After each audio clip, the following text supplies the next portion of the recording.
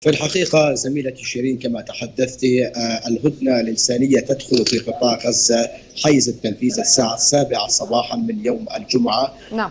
اليوم كان المشهد في معبر رفح البري دخول عدد كبير من الشاحنات وهذه ضمن بنود الهدنة الإنسانية الذي كانت من ضمن الشروط التي قامت عليها هذه الهدنة الإنسانية وفي انتظار غدا أيضا دخول عدد كبير من الشاحنات تشمل المواد الغذائية والمعونات وأيضا الوقود والغاز. هذه من ضمن المسا... نعم. الشروط عبد الهادي هل لديك معلومات حول هذه؟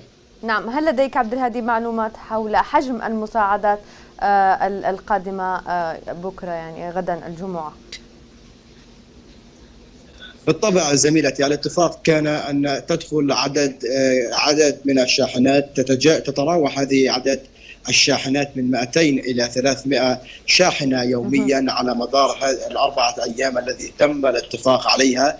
تضمن هذه المساعدات أيضا الغاز وأيضا الوقود وعدد من الشاحنات التي تحمل المواد الغذائية والمعاناة الغذائية. يتم وصولها فقط إلى مناطق الجنوب في قطاع غزة منطقة النصيرات ومدينة رفح ومدينة خان يونس. هذه ربما كانت بعض الأمور التي عرقلت سريان الهدنة مساء أمس أن كانت هذه المعونات لم تدخل إلى شمال قطاع غزة ومدينة غزة. نعم. وكان هذا نقطة الخلاف في الوصول إلى دخول الهدنة الإنسانية في قطاع غزة إلى حيز التنفيذ. نعم. إضافة أيضا إلى حركة المواطنين الغزيين الذي تكون فقط الحركة من مناطق الشمال إلى مناطق الجنوب.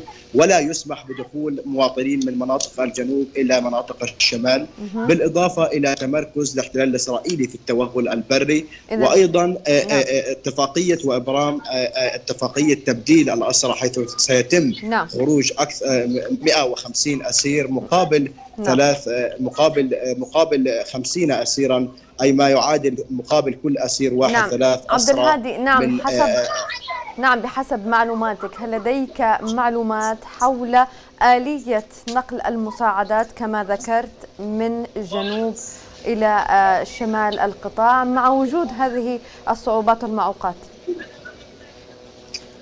بالطبع زميلتي هذه الشحنات تدخل تحديدا إلى معبر رفح البري وتقف ومن ثم تقوم آليات وشاحنات في قطاع غزة بتفريغها لتقوم بتوزيعها على مراكز الإيواء والمناطق الذي يوجد فيها عائلات فلسطينية نازحة ومتشردة.